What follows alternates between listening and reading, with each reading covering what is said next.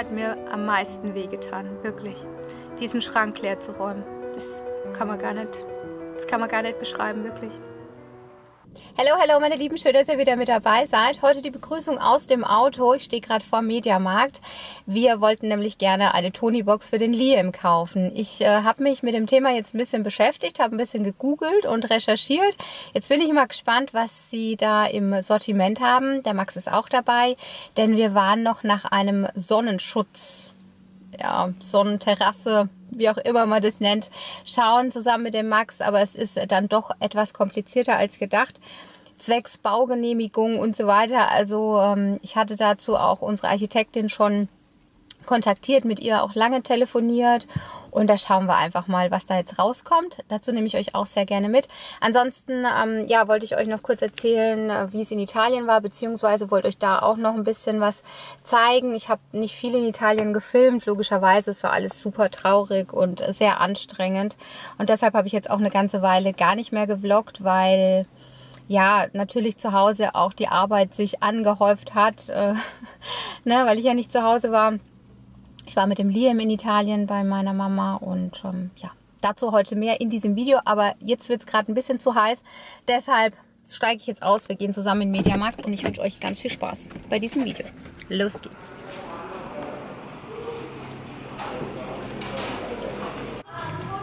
Ja, gefällt dir das? Hm? Schaust dich um. Komm, wir wollen doch eine Tony-Box kaufen. Na komm. Schnell, wo ist der Max? Liam, sind keine mehr da für dich. Tanzt schon der Liam. Jawohl, balla con la musica. Sind keine mehr da, Schatz. Also hier sind leider keine. Der Max, der fragt jetzt einfach mal nach. Das ist auch echt total äh, abgegrabbelt hier alles. Schade. Fragst du mal nach, Max? Da ist ein Junge, ne? 0000.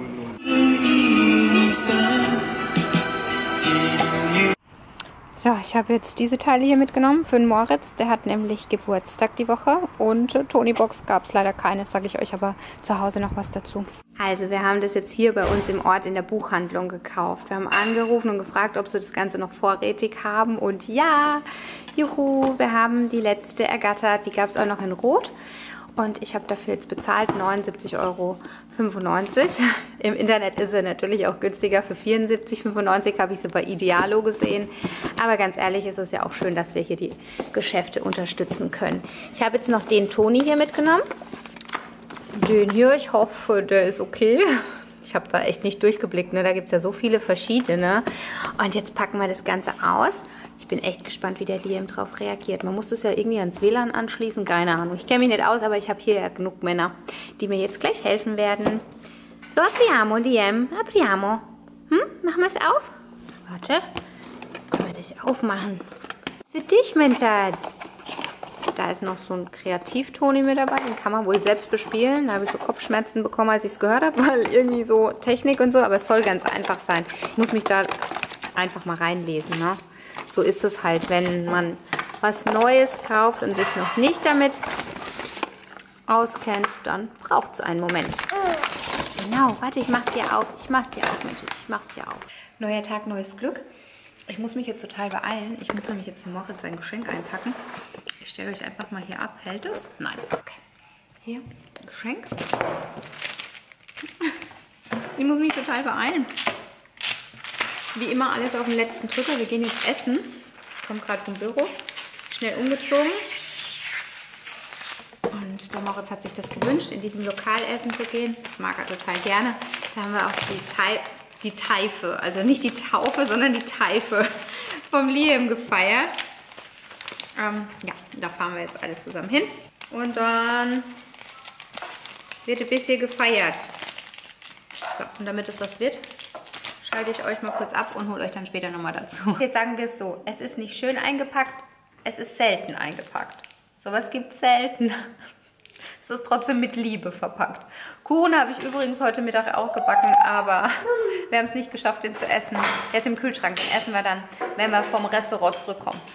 Oder halt morgen. Ich wollte heute Mittag auch schön lecker Lasagne servieren, habe ich auch alles vorbereitet, aber es hat dann auch nicht geklappt. Die essen wir dann auch morgen. Also ich habe nur die Tomatensauce aufgesetzt. So, lange Rede, kurzer Sinn, wir gehen jetzt los und ähm, ja, ich habe Hunger.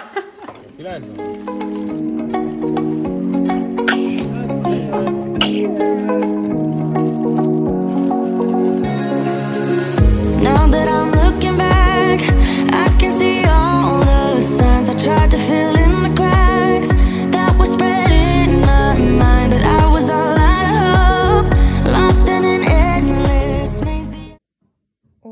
späten Stunde essen wir jetzt noch Kuchen.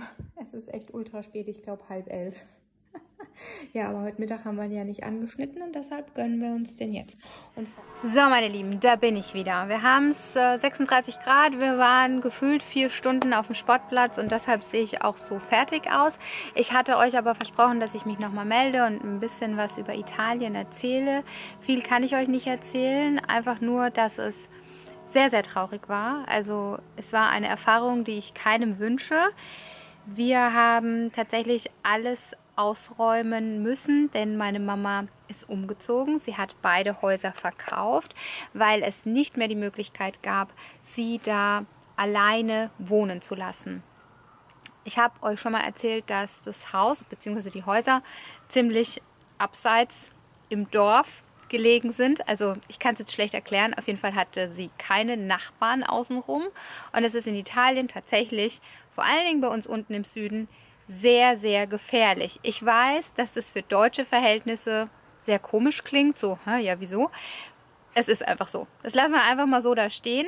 Es war nicht möglich. Und vor allen Dingen jetzt zu der Zeit, als der Lockdown dann eben war, war sie drei Monate komplett isoliert. Sie war komplett alleine. Draußen ist keine Menschenseele weder vorbeigelaufen noch vorbeigefahren.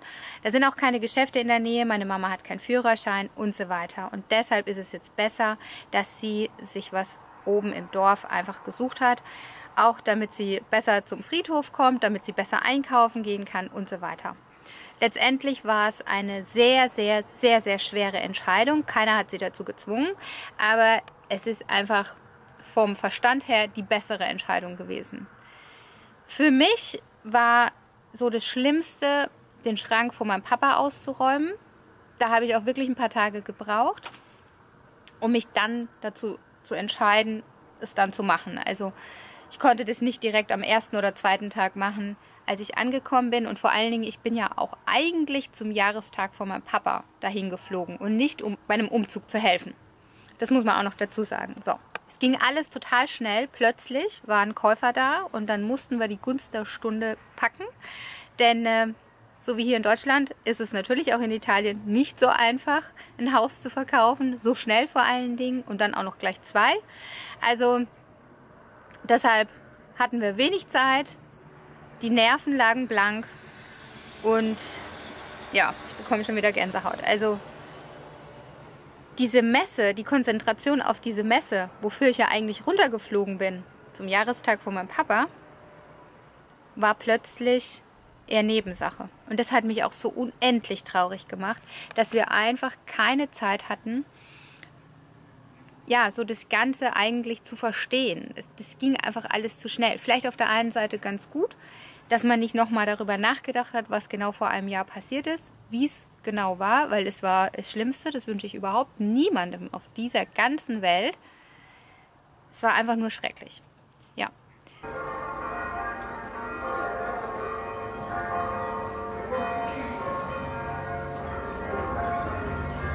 Und äh, jetzt auch mit dem Liam wieder dabei, also der arme kleine Schatz, ne, der ist immer mit dabei und ähm, Gott sei Dank versteht er das nicht er lacht immer, er ist so fröhlich und alle lieben ihn in Italien, sind alle fasziniert von ihm und er war so unser Sonnenschein den ganzen Tag über.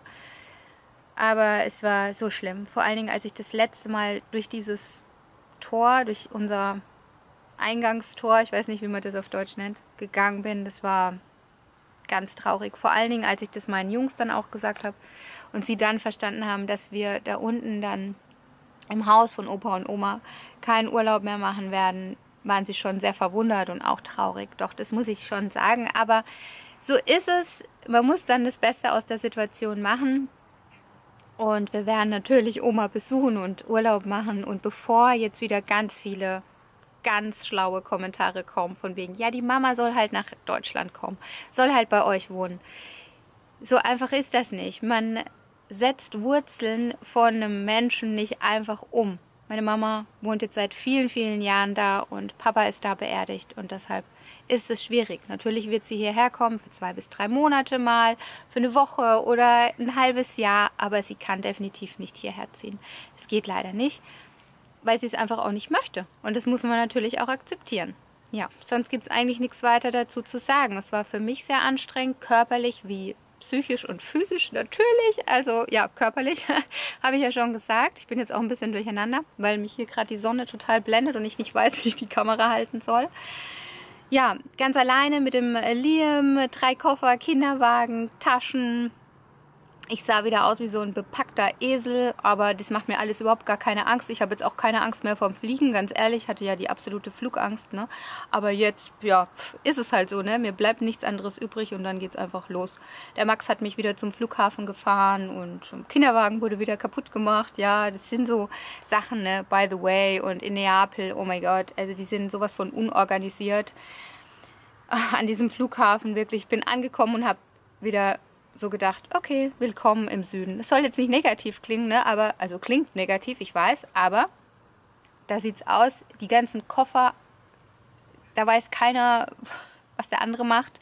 Und ja, das ist so traurig, ne? das ist so schade, weil das Land so viel bietet und so schön ist und diese Kultur und ja, das Kulinarische, das Meer, die Berge, aber an ganz vielen Stellen denke ich mir einfach nur, oh mein Gott. Auch wenn wir Termine hatten, wir hatten zum Beispiel einen Termin mit dem Architekten, weil die Mama sich ein Haus anschauen wollte. Wir hatten den Termin um 11, wir waren um 10 vor 11 da, zusammen mit dem Liam. Es waren 35 Grad, wirklich. Und wann kam der Architekt? Um Viertel vor 12. Und ich mit einem kleinen Kind da in der Hitze. Wir sind natürlich in Schatten, logischerweise. Aber es ist einfach ärgerlich, weil wir in der Zeit können, also Kartons packen können und so. Oh, das hat mich so geärgert, wirklich. Und das ist nicht das einzige Beispiel und auch nicht das letzte. Es, ja, auch wenn man einen Termin bei der Bank hat oder bei der Post und oh, das ist alles so anstrengend ja, die Nerven lagen echt blank. Ich war richtig sauer. Also ich bin morgens schon mit so einem Hals aufgestanden, irgendwie gefühlt. Und was mich gerettet hat, war einfach diese dann schön rausgeguckt auf diesen wunderschönen Garten, den mein Vater so geliebt hat. Der hat ihn so geliebt. Ja, naja, gut. Die neuen Besitzer habe ich kennengelernt. Ja, was soll man dazu sagen? Ich meine, die sind nett, die können auch nichts dafür, ne? Die haben halt Schnäppchen ihres Lebens gemacht. Ja, und ich habe tatsächlich ein paar Hemden von meinem Papa mitgenommen, weil mir ganz, ganz viele auf Insta geschrieben haben, dass es da die Möglichkeit gibt, zum Beispiel ein Kissen draus zu nähen. Fand ich total schön die Idee und dafür bin ich auch sehr dankbar. Das meine ich eben auch, dass ich das so liebe, diesen Austausch. Auf die Idee wäre ich zum Beispiel nie gekommen. Und deshalb habe ich jetzt für jedes Kind von mir ein Hemd von meinem Papa mitgenommen und ja, lass daraus was nähen. Aber die Hemden sind tatsächlich noch im Koffer. Ja, weil ich sie, ich schaffe es einfach nicht, die rauszunehmen. Nee. Also das hat mir am meisten wehgetan, wirklich. Diesen Schrank leer zu räumen. Das kann man gar nicht, das kann man gar nicht beschreiben, wirklich.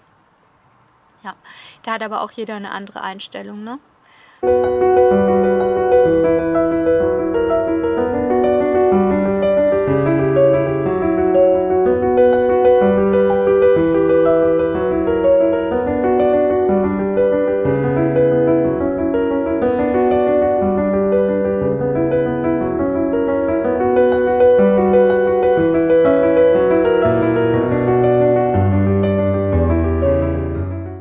Cousin hat auch gesagt, ja gut, was willst du denn jetzt noch mit den Sachen machen? Ne? Also der ist jetzt nicht herzlos oder so, aber mein, auf der einen Seite hat er recht, aber das ist halt, das, ja, wenn es einen selbst betrifft, sind halt die Sachen von meinem Papa. Ja, okay.